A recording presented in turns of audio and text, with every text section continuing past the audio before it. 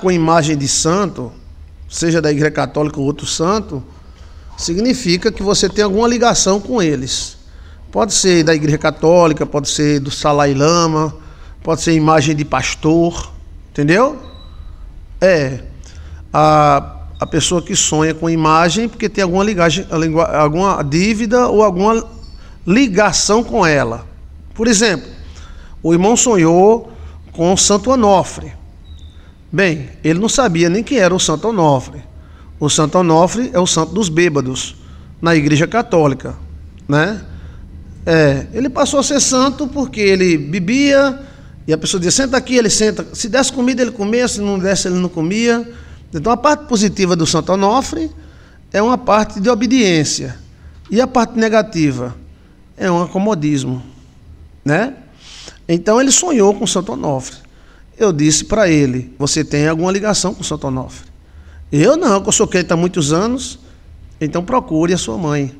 Então a mãe tinha tido algum treco-treco com Santo Onofre, e teve mesmo. Então, mesmo ele crente, ele tinha alguma ligação com Santo Onofre. Aí veja aí parte positiva do, dos santos e a parte negativa dos santos. Os antigos sabem disso. A parte positiva dos santos é aquilo que ele, ele faz de bem ou que ele é destaque. Hum. E a parte negativa é aquilo que ele sofreu. Entendeu? É, como despertar positiva? Crendo. E como despertar negativa? Devendo. Isso até com Deus é assim. A pessoa pode despertar uma parte positiva de Deus. E qual é a parte negativa? Deus exige o pagamento. É, a pessoa faz um voto com Deus e não paga, leva nas funças do mesmo jeito. É, Deus, a Bíblia fala, né? Então assim, sobre a questão de pactos e, e, e, votos, você pode fazer voto com quem quiser, com igreja, com pastor, com, né? Mas os votos são cobrados e as pessoas, na maioria dos casos, esquecem do voto que fez. É incrível. O cara está comendo caviar e está esquecendo que fez o voto. Aí depois, quando perde o caviar, fica meio perdido, tal, entendeu? Então, assim, é porque o voto é com qualquer santo, com qualquer igreja, com Deus, é um acordo, né? E esse acordo tem que ser ou cumprido ou substituído. Aí onde entra o nosso ministério. Nessa área a gente foi crescendo muito porque começamos a tentar substituir alguns pactos e alguns votos e deu certo. E aí, graças a Deus, encontramos um caminho. A pessoa é devoto ou fez um pacto com um, um santo muito perigoso. São Pripri, por exemplo, São Pripri. São Pripri é perigoso. Né? Os irmãos também são. Aquela que das águas também é muito perigosa. Mas já os outros não são tão perigosos assim, não. Então, como substituir? Né?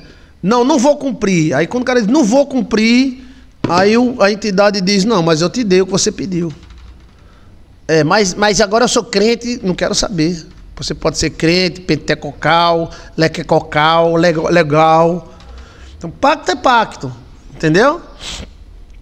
Então, pacto pode ser feito com anjos, com santos, com homem, com mulher, com entidade, com, com, com associação, com anjos de guarda. Né? Então, se a pessoa sonha muito né, com um santo, é porque tem alguma ligação ao santo. É, agora, que ligação é? Aí tem que ver. Se o, o santo ameaçar, é porque alguma alegação tá, tá errada. É, a, a mulher fez um pacto comigo, quem, quem escuta as minhas palestras todo dia sabe, né? Ela, desesperada, o filho sofreu um acidente muito grande e já era feitiço feito pelo amante que ele tinha, né? E aí o feitiço foi muito forte, o cara teve um acidente muito forte, né? E ficou no hospital com o cérebro inchando, né? E a família veio atrás para pedir que Deus tivesse misericórdia. E realmente, né? Aí corremos para o hospital, ficamos profetizando, né? E a, a, a, a, família não queria operar porque o cérebro estava inchando, tinha que abrir o, o coco, né, da pessoa. E aí Deus foi misericordioso. A mãe fez o voto, fez pacto, fez o negócio de cesta básica, Tudo que ela fez de voto, de, de petição comigo, ela cumpriu a risca. Né? E aí, graças a Deus, o cara recuperou. Ele tinha quebrado a canela, a canela emendou, deu tudo certo. Ele conseguiu um grande emprego estadual, né? E aí deu muito certo, né? É. Mas depois de três anos, a mãe, de, a mãe dele estava sonhando. Dormiu, sonhou, né? Aí ela sonhou que via um cara alto, forte, e batia na porta dela. E aí ela olhou, disse, quem é? Aí ele, o cara disse, era a dona fulana cicrana? Sou. Aí tem um negócio aqui para a senhora. Aí ela olhou para a caixa, eu não quero não. Aí o cara disse, é para a senhora. Aí ela disse, não, não quero não, não quero, não quero isso não. Aí ele pegou a caixa e jogou nos pés dela assim, ó. É, quando a, bateu a caixa no chão, tava o, o, o, o, santo das causas impossíveis, né? Que é um santo forte, né? Como é o nome? É o santo. É, então a família me procurou de novo. Pastor, minha mãe sonhou e está tá perturbada de um sonho. Ela, ela ficou meio aérea, né? Ficou meio aérea. É o santo das casas impossíveis, né? Então fui lá, ela disse, pastor, sonhei assim, assim, assado, cozinhado, tal, tal, te, te, pa, pe, pa, lá, pa, pa, pa, lá, pa, pa, pa, pa. É. Aí eu disse, a senhora tem alguma ligação com o Santo Expedito? Ela disse: Não. Tem alguma devoção? Não. Por que a senhora está sonhando com o Santo Expedito? Não sei não. Ela estava meio assim, uh, uh, uh, né? Tomando uh, vitaminas. É, eu não, não, sei não, deve ser alguma ligação que a senhora tem com ele. É, agora está cobrando alguma coisa, que ele jogou a caixa nos seus pés. É, não, não. A única vez que eu falei com o Santo Expedito foi naquela época do acidente do meu filho. Eu digo, foi? Elas foi. Eu fiz o, o, voto com o senhor e fiz o voto com o Santo Expedito. Eu digo, pronto. Então o senhor apagou, não sabe de quem foi que respondeu, se foi os dois que respondeu, se foi o anjo do ministério nosso, Deus, né? Ou se foi o santo, ou os dois. Então a senhora cumpriu comigo e cumpriu com ele, não? Ela disse, não, cumpri não. É? A senhora fez? Não, não cumpri não, porque eu sou crente. Eu disse, sim, mas a senhora é crente, mas por que fez? A senhora é obrigada a fazer? Não, mas é porque eu estava desesperada, certo? Né? Então, assim, é, faça o seguinte, o que, que a senhora prometeu a ele? Se eu não me engano, era umas duas cesta básica, coisa básica mesmo. Eu disse, então, é, pague. Olha, pague. Se ele está cobrando, porque alguma coisa ele ajudou nós também. Não, vou pagar não. E amarrou o burro. Ou seja, vou pagar nada que eu sou crente. Aí eu procurei o filho dela e disse: Vem cá, você que é filho e tem legalidade, então faça as duas cestas básicas e dê no nome da, da sua mãe. Aí o filho disse: Não, tem que pensar bem, porque eu sou crente também. Aí eu disse: Ah, é, eu estou dando a dica, né? Mas o senhor não pode orar? Eu disse: Não posso, não. Porque ela fez voto comigo e fez voto com o Santo Expedito. E o Santo Expedito está cobrando. Então foi os dois que respondeu, foi ele que respondeu. Mas eu acredito que foi os dois. Não deu tudo certo? Não se consertou tudo, até o demônio saiu? Paga a cesta básica. Não. Pronto. Aí eu não vou cobrar, eu não trabalho em sistema de cobrança, né? E também o Santo Expedito não me pediu para cobrar nada dele, né? É. E aí eu fiquei calado. Aí se pai, três anos cobrou, né? Aí não pagou. Aí, depois nos três ou quatro meses, eu procurei ele e disse, ó, oh, lembra do, do, do, santo lá. Mas, pastor, o senhor está lembrando do santo? Estou lembrando do santo, que foi feito o, o acordo com o santo. Né? Não, porque a gente é crente. Ah, porque vai fazer? Você é crente, porque vai fazer? Você é obrigado? Bem, mas aí, para não se meter e não levar nas funças, então eu disse, tá bom. Seis meses depois, o irmão do rapaz que sofreu acidente sofreu acidente no mesmo lugar, da mesma forma, do mesmo jeito. Pá! Agora, graças a Deus, é o nosso Senhor Jesus Cristo que não teve sequelas. Mas a mesma quantidade de gente foi envolvido no mesmo lugar. No mesmo lugar. É, mas não teve nenhum arranhão. Graças a Deus eu fui lá ver o rapaz. Aí até eu falei. Eu digo, aí tá vendo? Foi os dois. Porque se fosse ele sozinho, o cara tinha se lascado. Se fosse ele sozinho que tivesse respondido, então ele teria o direito de exterminar o cara. Ou de fazer a cabeça do cara rachar e a perna torar, entendeu? Então não foi ele, ele ajudou em alguma coisa. Então ele tirou o que ele deu. Você está me entendendo? Se você faz um pacto, seja com quem for, com santo, com igreja, com qualquer coisa, e não cumpre, aquela parte do pacto que você pediu é tirada. Só isso. Só, é, mas depende do que é pedido, depende do que é recebido. Então, quando você sonha é, com a, a, assim um santo, você tem que ver qual é a ligação que você tem com ele. Às vezes é um nome. Às vezes a mãe te batizou dando um nome do santo para você. Então, queira ou não, você é, tem alguma ligação com ele. Né? E a parte negativa do santo também pode pegar. Por exemplo, a mãe faz um, uma parte, o, um, um, um, santo, Santo Expedita maravilhoso, São José maravilhoso, Nossa Senhora maravilhosa, né? Mas aí tem um santo meu, meu, meu, meu, assim, tem a parte negativa do santo, né? E qual é a parte negativa? Por exemplo, é, o santo expedito, se ele não for atendido, o que foi feito, ou substituído, que pode ser substituído, a pessoa vira bêbado.